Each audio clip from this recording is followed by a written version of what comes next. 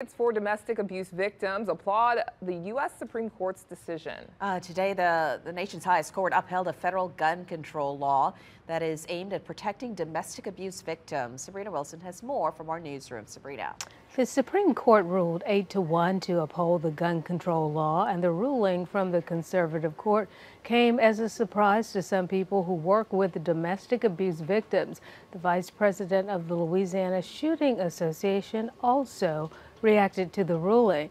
Now, in upholding the law, the High Court reversed a ruling by the Fifth Circuit Court of Appeals in New Orleans that struck down the law in question. It is the second time in recent weeks that the Supreme Court has reversed the appeals court in New Orleans.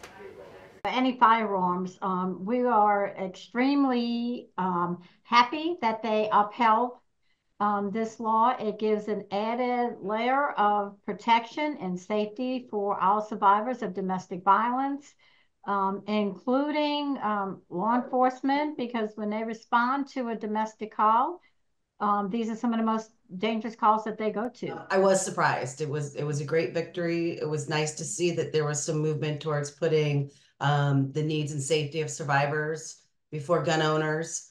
Um, we have a huge percentage, I mean, way over 70% of the survivors that come into our agency that have been a victim of gun violence. Well, I don't think that they should have taken a different approach based on the question that was actually before the court uh, in this case.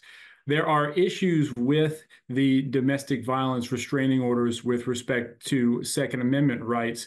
The primary one, though, that we have concerns with is really regarding the burden of proof for the protective orders to be granted. Justice Clarence Thomas was the lone dissenter in the case. The case involved Zackey Rahimi, who was accused of hitting his girlfriend during an argument in a parking lot and later threatening to shoot her. Even gun rights activists say the Texas man wasn't a model citizen.